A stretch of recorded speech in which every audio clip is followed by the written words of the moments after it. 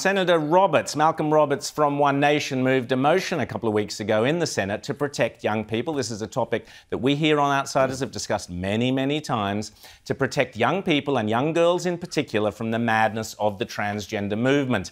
Uh, Senator Malcolm Roberts put forward a perfectly sensible and measured bill that firstly noted the explosion in the number of young people seeking to transition, as well as pointing out the high rates of suicide among people who have undergone chemical castration, surgical transitioning, and other, uh, other, other methods around the world, puberty blockers, and so on. Most importantly, the motion called for the Senate to condemn, and I quote, the practice of children receiving experimental and unproven medical treatments of irreversible puberty blockers and irreversible transgender surgery. To their credit, all the nationals, all of One Nation, voted for Senator Malcolm's motion. To their credit, credit, most of the Liberal senators voted with One Nation. To their eternal shame, all the Labor Party and all the Greens voted against it. But wait for it, the continuing butchery of young Australian boys and girls will be going ahead because of a handful of Liberals and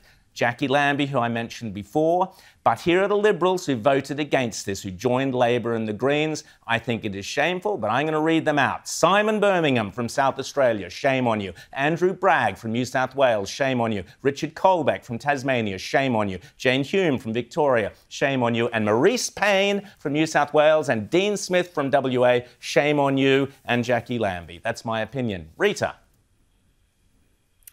Well, I think it is shameful because we are seeing um, overseas a real limit being put on the use of some of these drugs because they have irreversible impact on young people, confused young people who are making decisions with lifelong consequences. And we're talking about things like infertility. I mean, can you imagine at the age of 12 or 13 submitting to treatment that may leave you infertile for life?